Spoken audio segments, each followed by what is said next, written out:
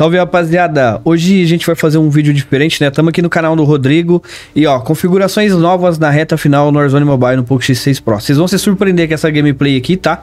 É do Rodrigo, eu vou tentar deixar o áudio do vídeo bem baixinho aqui pra gente poder, é, de fato, conversar, tá? Eu vou até tirar o fone pra não me atrapalhar e vocês realmente vão ver que essa gameplay dele tá muito boa muito, muito boa, tá? A qualidade está em 1080, eu acho que na hora de exportar ele não conseguiu exportar em 60 FPS, né, em 60 frames, mas ainda assim vocês vão assistir. Eu vou deixar o link do canal do Rodrigo, tá? Aqui na descrição ele tem um método que ele ensina a fazer essas configurações do Poco X3 Pro para rodar desse jeito que tá aí. E vocês vão se surpreender mesmo, porque na reta final a galera ainda continua insistindo no game, né? E a galera continua fazendo aí, de certa forma, o que dá para poder jogar, tá, rapaziada? E a gente também vai aproveitar esse vídeo, tá? Pra debater sobre celulares fracos, né? Algumas coisas têm sido contadas aí, não é bem, né? Não é bem as coisas que a gente sabe que, que vai acontecer e a gente precisa debater aí, de certa forma, esses fatos aí, tá? E aí a gente vai analisando a gameplay do Rodrigo. Eu vou tentar matar dois vídeos em uma só, tá? Porque daí evita de eu ter que lançar um vídeo agora, outro vídeo depois. Então mais tarde a gente tem liberdade para criar outra coisa, beleza? De fato, né? Antes de eu, obviamente, vou pedir para você se inscrever no canal do Rodrigo, né? Que ajudar a comunidade a crescer, assim como foi como o Douglas Peixe Frito, tá? Ajudar a comunidade a crescer, ajudar pessoas que estão ajudando pessoas, tá? E aí, rapaziada, tem enrolado uns rumores aí eu acho que nem é rumor, né? Eu acho que é a galera mais de outros jogos aí que fica botando pilha na cabeça da molecada, né? Sobre celulares que não são compatíveis com o Warzone Mobile, tá? Que vão passar a ser compatíveis. Eu não vi em nenhum vazamento, não vi em nenhum lugar isso, tá? Eu acho muito pelo contrário. Eu acho que quem já rodava o jogo a 20, é, 30, pô, 15 FPS, o máximo que vai acontecer é melhorar um pouco. Também não vai haver uma salvação, uma solução, né? A gente viu em alguns vídeos aí os requisitos mínimos, médios, né? Que pelo menos foi o que foi vazado, mínimos, médios e competitivos, tá? Eu duvido muito que do médio, é, do médio para baixo, alguém vai conseguir jogar 90, 100, 120 FPS, tá?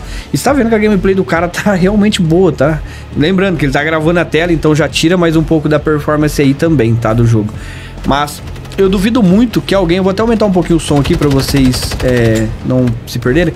Eu duvido muito que alguém vá aparecer e ou aqui a Activision, né, de fato, vá fazer de, de fato uma melhoria significativa da forma que muita gente tem falado aí, principalmente criadores de conteúdo de outros jogos e é sempre é sempre com a mesma frase: "Ah, mas o COD Mobile roda. Ah, mas o Delta Force Mobile roda".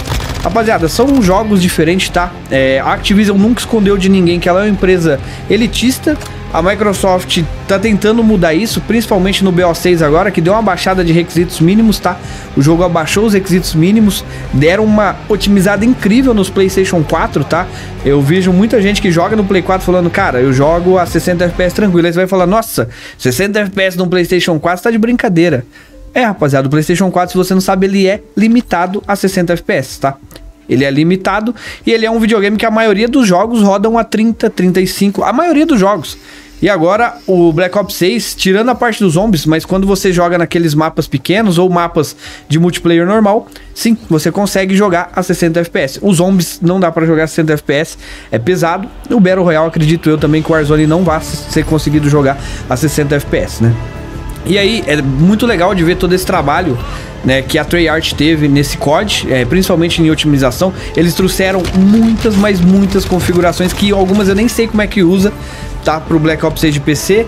Mas aí o que isso impacta no mobile, né? É, é aquele caso, a EAW, né, sendo aprimorada, a gente acreditou, né, a própria Activision veio e disse a público em uma oportunidade que a IW teria uma nova versão, a gente ainda está na IW9, tá?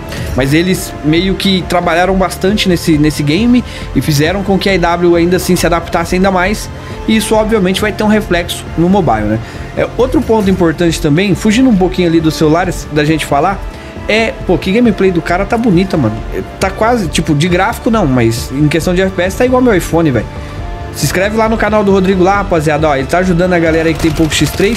Infelizmente, ah, mas ah, isso aí é uma obrigação da Activision.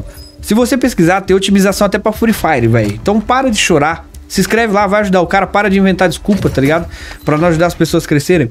E aí, a gente volta com o fato, né? Como eu tava falando que teve melhorias pro PlayStation 4 e tudo mais, isso acaba impactando o mobile. Mas não da forma que a rapaziada tá esperando, tá ligado? Não vai rodar, mano, no teu Moto G, sei lá o que, que é fraco, tá ligado? Que é abaixo dos requisitos.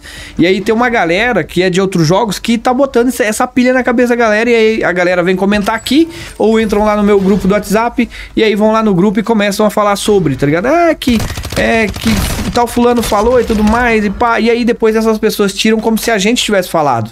E eu até cheguei a discutir com um rapaz que falou, irmão, mas eu não te falei nada, você mesmo falou que eu não te falei. Ah, mas é você que traz conteúdo do jogo. Pô, eu só, é isso, eu só trago conteúdo do jogo, irmão. Eu não desenvolvo essa parada, tá ligado? Eu não tô lá dentro para saber o que vai acontecer de fato ou não. Por isso que quando a gente traz de vazamentos, a gente fala, são vazamentos, né? E, e, a, e o pessoal, o público tem que entender isso, né? E aí quando as pessoas chegam e falam assim, não, que vai rodar em tal celular, deixa eu ver quanto tempo tem de vídeo, dá pra falar ainda. Quando as pessoas chegam e falam assim, ah, vai rodar em tal celular, vai rodar em tal coisa que hoje não é compatível. E aí, quando você acredita nisso, você só tá dando munição para essas pessoas, mano. Daqui um, um tempo, né? Te chamar disso, te chamar daquilo, igual aconteceu. Por quê? Porque essas pessoas, eu não tô falando que foi nenhum hater não que falou, porque não foi. Isso aí foi um criador de conteúdo mediano de código mobile que falou. E, e aí tava falando pra molecada, eu peguei e falei, falei, cara, eu não tô sabendo isso aí não. Então, deixando bem claro para vocês, celular que não é compatível hoje, não vai rodar, tá? Não vai rodar.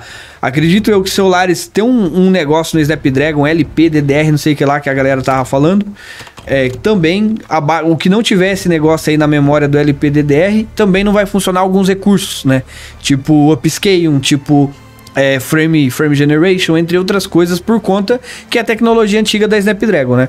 Outro ponto, também vou matar mais uma, uma parada aqui. A galera tem pedido para mim comentar sobre o Snapdragon 8 Elite, né? E também sobre o 9400 de Dimensity, né, rapaziada? Que gameplay do caralho que é essa, hein, mano? Pô, gostei demais. E aí, eu não tenho muito o que comentar, né? Eu acho que o mercado mobile, ele tá se desenvolvendo de uma forma bem rápida. Eu acredito, né, fielmente que vai chegar um tempo que a gente vai ter celulares potentes. Eu acho que esse jogo, vou, num exemplo assim, catastrófico que aconteça dia 14, vem uma bosta, tá? Infelizmente eles não vão fechar o jogo para melhorar, tá? Eles vão continuar mantendo o jogo. Infelizmente, né, a maioria das pessoas que jogam hoje, que se apaixonaram pelo estilo de gameplay do jogo, vai continuar jogando, tá? Mas daqui dois, eu acredito daqui dois a três anos, essas pessoas vão jogar o jogo tipo de boa, igual aconteceu com o COD Mobile agora. É, o COD Mobile hoje, você, você vê, o COD Mobile hoje é um jogo considerado até meio que leve. E ele não é um jogo leve, né? Ele é um jogo considerado até meio que leve. E pros padrões de hoje, ele é muito bom. Só que lá em 2020, 2021, né, quando eles trocaram, não o gráfico, mas eles trocaram a forma gráfica do jogo, que o jogo passou a ser um pouco mais cartunesco, muitos celulares deixaram de rodar. Então, depois de anos que os, os celulares, né, não é que o jogo foi otimizado, tá? É que os celulares, né, os celulares melhoraram a tecnologia a tal ponto que o celular mediano, tipo, da, de hoje, é um celular que, pô, o COD Mobile lá em 2021 era o que rodava no, no Zika. E hoje o mediano roda. Lembrando, mais uma vez, para depois vocês não acharem que eu tô aqui falando abobrinha, né? Estou dizendo caso essa atualização do dia 14 seja uma porcaria, tá? Outra coisa que eu tô afirmando para você é que celulares não compatíveis, que não são compatíveis hoje, não vão ser compatíveis no dia. Primeiro, né? Tecnologias. Já acabei de falar pontos. Tem o ponto de tecnologia, tem vários pontos aí que a gente precisa debater, mas eu acho que agora nem é o momento correto, né? Eu tô dando aquela coçada nele. Se você quiser saber, quiser uma foto, só pedir, né? Aí, rapaziada, os celulares que estão chegando agora, pô, a gente tá vendo o Snapdragon 8 Elite, que é um processador de notebook que os caras estão é, trazendo para Android, né? A Apple já faz isso, só que só nos tablets, né? Ela traz o, o M1, M2, M4 somente para tablets, né? Ela não traz é, para celulares ainda, mas é o mesmo processador que você usa num PC da Apple. Então, tipo assim, cara que tem notebook, né? Eu mesmo tenho um MacBook com chip M2, né? E aí eu tenho um iPad aqui com chip M4. Então, cara, a tecnologia vai avançando e os caras vão conseguindo fazer essas paradas aí, né? O iPhone 16 mesmo já tem um chip gráfico incrível. Então, tipo, o tempo vai passando e as coisas vão evoluindo automaticamente. Talvez, né? E aí, se a gente parar para analisar, você vai me perguntar, mas por que, que eles não lançam o Warzone, não lançaram o Warzone Mobile daqui dois anos? É uma grande pergunta, tá? É uma grande pergunta que eu queria saber também, porque seria algo legal, né? Pô, porque daí ele já lançaria o jogo numa época em que os celulares são compatíveis, mas infelizmente veio agora a gente continua com a esperança de que a Activision otimize o game, tá? Otimize o game e tudo mais. Então a gente vai continuar com essa esperança aí até o dia. Eu, particularmente, continuo com essa esperança até o dia 14. Passou do dia 14, irmão. Tchau e benção. Se não veio bom, eu. vou, vou trazer novidades, já falei pra você, vou trazer novidades aí, porque vai ter uma galera que vai jogar, mas eu vou focar no, no Warzone de PC. E pra mim tá de boa, tá ligado? Ah, mas você vai perder viu? Eu não tô nem aí, irmão. Vida que segue para todo mundo, tá ligado? As coisas são assim. Então é. Há muita coisa, tá ligado? Pô, eu acabei de apagar um comentário de um hater, mano. O cara criou a conta pra fingir no seu Dudu, tá ligado? Pra comentar porcaria aqui a gente já sabe quem que é. Então, são as coisas que são engraçadas, né, mano? Então a gente precisa ter essa consciência, rapaziada. Falando sobre a gameplay do Rodrigo, eu pode parecer que não, mas eu prestei atenção, né? Cara, é incrível como a comunidade faz muito mais pelo Warzone Mobile do que a própria Activision, né? Você tá vendo aí, ó. Tamo com o quê? 10 minutos de vídeo do cara. Tá vendo aí que o cara tá jogando de boa. Ele usa um cooler, tá? Mas não é um cooler zica das galáxias. Inclusive, essa semana vai ter aí a, o start da do sorteio dos quatro coolers. E aí vai ser lá no meu Instagram. Se você não segue meu Instagram, tá na descrição aqui, tá? A gente vai fazer o sorteio de quatro coolers, aí vai ser em live.